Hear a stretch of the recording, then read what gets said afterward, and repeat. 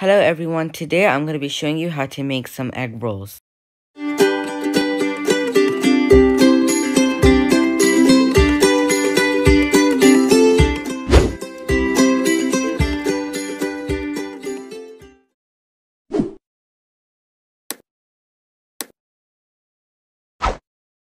First of all, we're going to start off with prep. Here I'm using some rice vermicelli noodles. You can find this in any of the grocery stores, but you can also use any other type of noodles.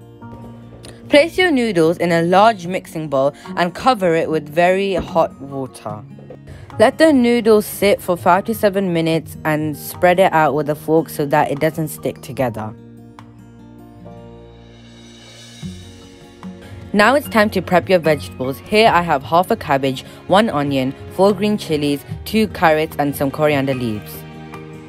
Here I have 8 ounces of brown mushrooms but you can also use white mushrooms. Now it's time to slice about 4 cups of your green cabbage.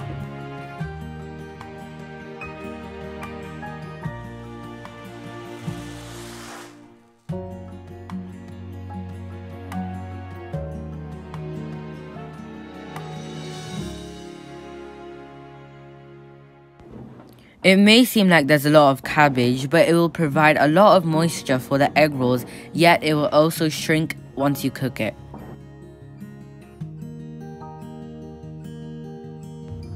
Now it's time to thinly slice your brown mushrooms, and yes, you could wash it in case there's any dirt or anything else on it.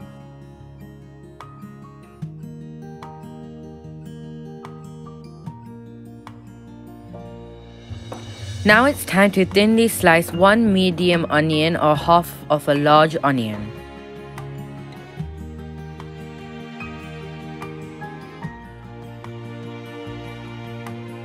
Now it's time to grate your medium-sized carrots. Here, if you're wondering, I've washed my carrots and peeled the skin off.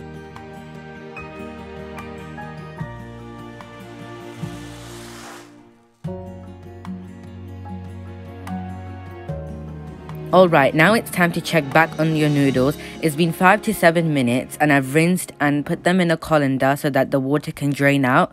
After that, you want to start cutting your noodles in 1 inch pieces. And that's all your preparation done. Now place a broad pan on medium heat and pour in 1 tablespoon of olive oil.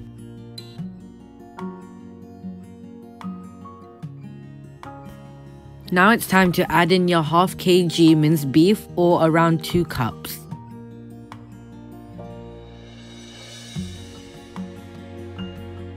Break down the beef in the pan with a spatula and saute it until it's cooked through.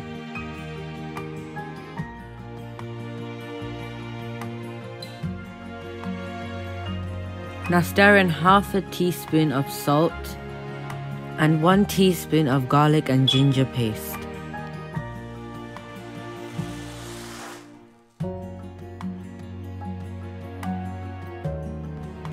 Once your beef has fully cooked through, you're ready to take it off the heat. Now in a different pan, pour in 2 tablespoons of olive oil.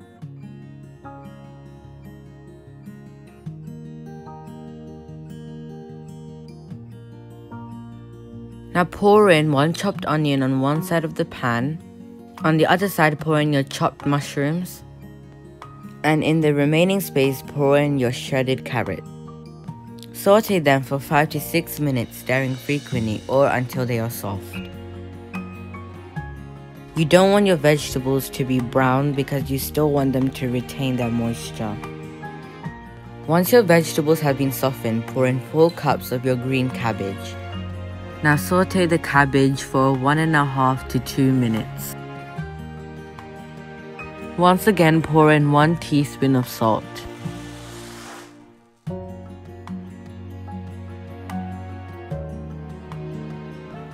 Now this is optional, but you can pour in 1 teaspoon of red chili flakes. This is so that the filling has a spicy flavor to it.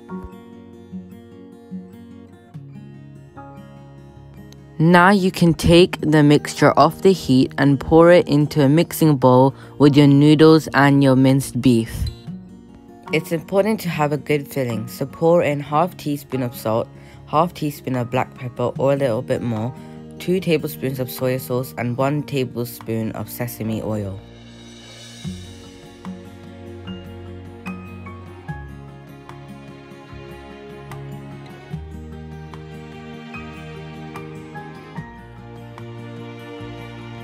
Now at this stage you can pour in your chopped green chilies and your sliced coriander leaves.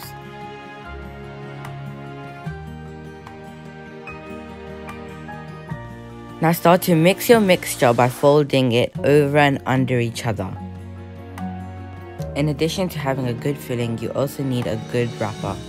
Here I'm using the TYJ spring roll pastry. You can find this in any Asian store in the freezer section. Now take the sheets out of its packaging and cover it with a damp towel for 1 hour at room temperature.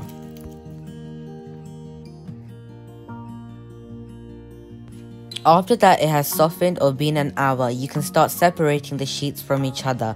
Make sure to cover it once again with the damp towel so that the sheets don't harden. Place the flat sheet on your cutting board in a diamond shape it's important to have the right amount of filling, so here I've used 1 4th cup. I'm going to fold the corner underneath the filling and tuck it. I'm going to roll it towards the front and fold the sides on top of it. Once you have folded the sides on top of the egg roll, roll it to the other end. Leave a little opening and brush it with some beaten egg. And then roll it up to seal the roll.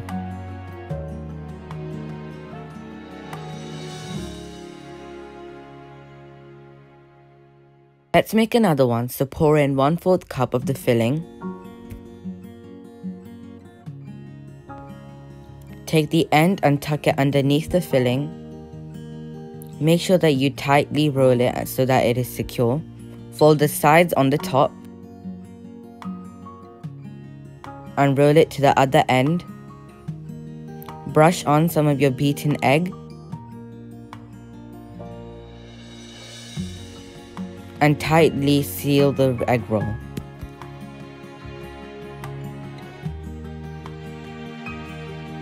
Once you've finished making the egg rolls, cover it with cling wrap.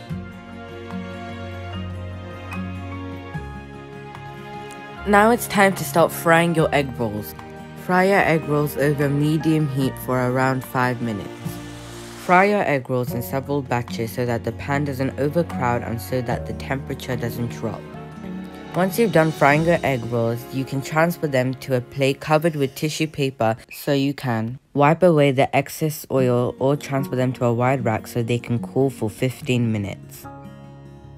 Now you're done cooking your egg rolls. I hope you guys enjoyed this video and make sure to subscribe, like and share if you did. Also make sure to follow my Instagram account and my Facebook page so that you can be updated whenever I post a new video. Thank you for watching again and goodbye.